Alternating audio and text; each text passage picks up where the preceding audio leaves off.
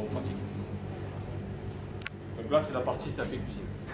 C'est sûr, on peut. mais là, c'est- C'est sur les deuxième année. Et c'est quoi Ça. Bonjour. Monsieur le maire. Ça va Ça va Eh oui, on pèse, on pèse. Donc vous pesez votre étrampe. Elle fait 411. Donc vous mettez la moitié en margarine à feuilletage. Et vous la préparez. Théo et Lola, vous savez comment on fait, vous montrez à vos collègues.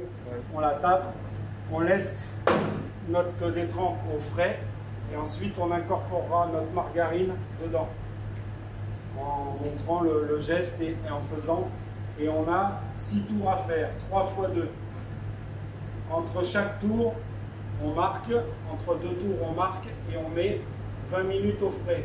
Et on reprend et on recommence. Il faut toujours qu'on tourne dans le même sens. C'est-à-dire que si on étale et qu'on est droitier ou gaucher, si on met le premier pli, mais je vous le remontrerai, si on commence par le premier pli en bas, on fait toujours par le premier pli. Et si on tourne vers la gauche, là il y a un repère toujours dans le sens des aiguilles d'une montre. Parce que si on veut que notre feuilletage y pousse, il ne faut pas faire un coup à gauche, un coup à droite. Sinon, le feuilletage, il n'y aura que le beurre et ça va se tasser et ça ne se développera pas. Alors vous prenez vos pesées, ils sont marqués au tableau et ensuite vous faites la détrempe et je vous remonte comme on étale. Ça marche?